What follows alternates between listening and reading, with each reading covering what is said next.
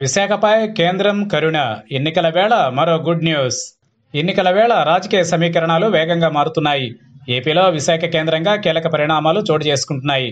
విశాఖ నుంచి పాలన ప్రారంభించేందుకు సీఎం జగన్ సిద్ధమయ్యారు. ఇదే సమయంలో విశాఖ స్టీల్ ప్లాంట్ ప్రైవేటీకరణ అంశంపైన తాజాగా బీజేపీ ఎంపీ జీవీఎల్ నరసింహారావు ఆసక్తికర వ్యాఖ్యలు చేశారు. విశాఖ స్టీల్ ప్లాంట్ ప్రైవేటీకరణ ఇప్పుడిప్పుడే జరగదని చెప్పుకొచ్చారు. ఇదే అంశంపై కీలక విషయాలను వెల్లడించారు. ఏపీకి సంబంధించి కేంద్రం ఈ మధ్యకాలంలో వరుస నిర్ణయాలు తీసుకుంటోంది.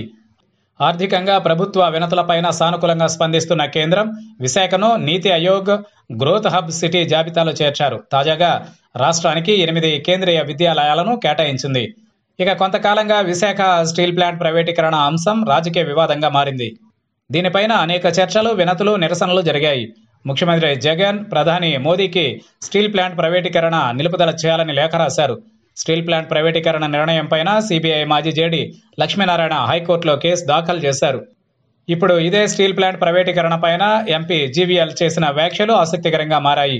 విశాఖ స్టీల్ ప్లాంట్ ప్రైవేటీకరణ ఇప్పుడిప్పుడే జరగదని ఆయన అన్నారు. విశాఖ స్టీల్ ప్లాంట్ ప్రైవేటీకరణపై కేంద్రం పునరాలోచన చేస్తోందని యథాతథ స్థితిని కొనసాగించేలా కేంద్రం నుంచి సంకేతాలు వచ్చాయని వెల్లడించారు. విశాఖ ఉక్కు పరిశ్రమ అమ్మకం దాదాపు నిలిచిపోయినట్లేనని అయితే సంస్థను లాభాల బాటలో నడిపించాల్సి ఉందని అప్పుడు విశాఖ ఉక్కు పరిశ్రమ ప్రభుత్వ రంగ సంస్థగా కొనసాగుతుందని అన్న విశాఖ స్టీల్ ప్లాంట్ అంశం ప్రధాని మోడీ దృష్టికి తీసుకువెళ్తానని ఎంపీ జీవీఎల్ తెలిపారు. స్టీల్ ప్లాంట్ను లాభసాటిగా నడిపించాలనేది తమ ప్రయత్నం అన్నారు.